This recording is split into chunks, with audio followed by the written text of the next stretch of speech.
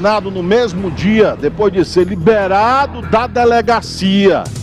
O nosso repórter Carlos Mesquita acompanhou tudo e traz os detalhes. Já está aqui ao vivo com a gente, já está aqui ao vivo comigo. Mesquitinha, direto lá do litoral. Que prazer falar com você. Eita, caindo aqui, Mesquita. Foi só tu falar comigo, tu tá me agorando. Eu ia caindo aqui. Mesquita, boa noite, meu querido. Não, não, você tava confundindo. Quem tem esse costume aí de agorar o apresentador chama-se Matheus. O Matheus é perigoso. Matheus tem a língua grande, meu amigo. Matheus Oliveira. Matheus Oliveira é que tem esse costume de agorar aí o apresentador, né? Eu pra quero. Ver se cai pra ele é, assumir o programa. Eu quero morrer amigo dele. Eu não quero. Nunca nunca queira o Matheus Oliveira como inimigo. Você tem que ser amigo dele mesmo, de verdade. Vamos lá, Mesquitinha. Vamos lá, Luiz. Olha, infelizmente, né? Violência é o que a gente traz aqui no MN 40 Graus. Como, por exemplo, a morte dessa pessoa, um homem que bastante violento, ele era uma pessoa que a vizinhança não aguentava por tantos problemas ocasionados por ele, como brigas, como é, uso de entorpecente ali na rua e mais, é, agressões físicas, lesões contra vizinhos, como por exemplo no domingo ontem, portanto, dia 6, este homem que foi assassinado à noite, ele pela manhã havia lesionado um vizinho com golpes de faca foi levado para a delegacia central de flagrantes, passou o dia lá.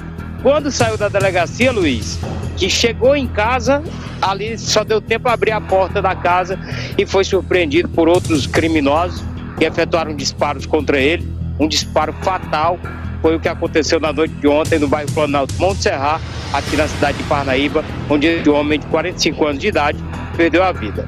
Mais detalhes agora na reportagem. Um homem identificado pelo nome de Álvaro, de 45 anos de idade, foi assassinado na noite do último domingo, dia 6 de agosto. Ele foi baleado na porta de sua casa, no bairro Planalto Monte Serra, na cidade de Parnaíba, no norte do Piauí. Álvaro havia acabado de chegar em casa após ser liberado na delegacia.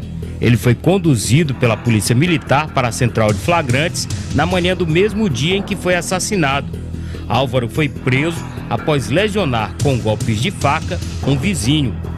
O delegado plantonista da Central de Flagrantes foi até o local do homicídio e falou com a imprensa.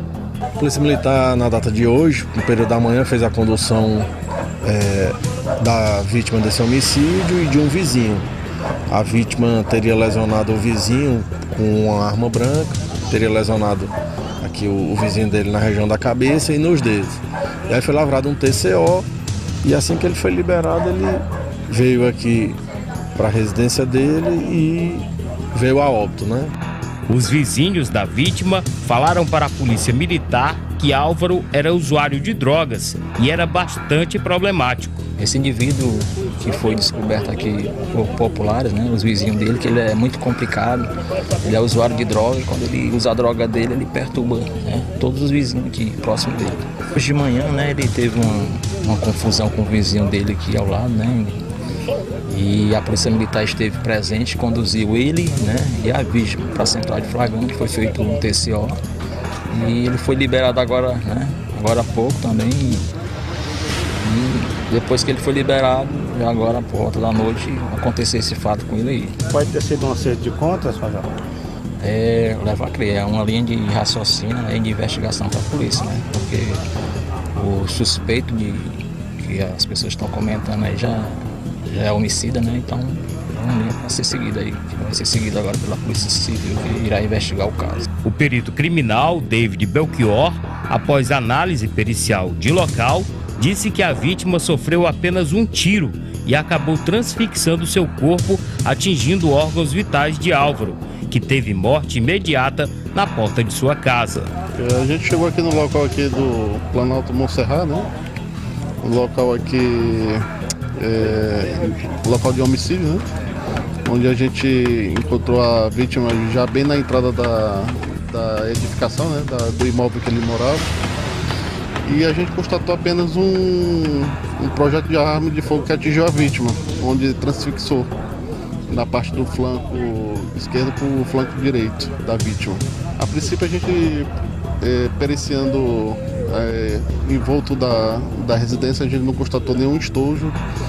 É, a gente não pode afirmar nem a princípio nem qual foi a arma que foi utilizada para vitimar a vítima.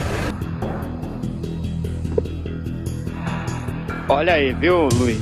É aquela história, né? Você apronta, apronta, uma hora a conta chega, né? E você uma conta muito cara com a própria vida sendo tirada como a desse rapaz aí, que segundo informações, suspeito seria já um homicida, né? Uma pessoa que já havia praticado crimes também contra a vida de outras pessoas e a polícia está atrás, claro, dessa pessoa suspeita.